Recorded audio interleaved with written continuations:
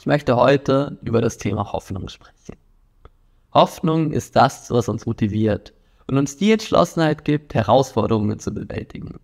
In meinem Fall schöpfe ich Hoffnung aus den Diskussionen und Überlegungen. Ich sehe Zeichen einer positiven Zukunft, wenn ich Menschen sehe, die sich aktiv für Umweltschutz und soziale Gerechtigkeit einsetzen. Es sind die Menschen, die ihre Stimme erheben und Veränderungen bewirken wollen. In der Lehrveranstaltung konkret hat mich die Auseinandersetzung mit dem ökologischen Fußabdruck und den damit verbundenen Entscheidungen stark beeinflusst.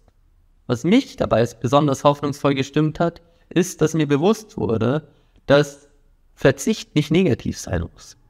Verzicht kann uns die Möglichkeit geben, wieder in Einklang mit der Natur zu leben und eine langfristig nachhaltige und erfüllende Zukunft zu gestalten.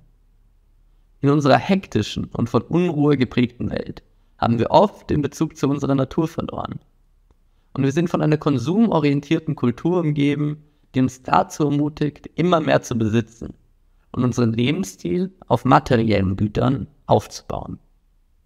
Doch gerade jetzt haben wir die Chance, diese Punkte zurückzugewinnen, indem wir bewusst auf gewisse Luxusgüter verzichten und unseren ökologischen Fußabdruck reduzieren, können wir Raum schaffen für mehr Natur in unserem Leben. Wir können uns wieder mit der Umwelt verbinden und die natürlichen Ressourcen wertschätzen, die uns zur Verfügung stehen. Lasst uns also bewusster entscheiden, was uns wichtig ist.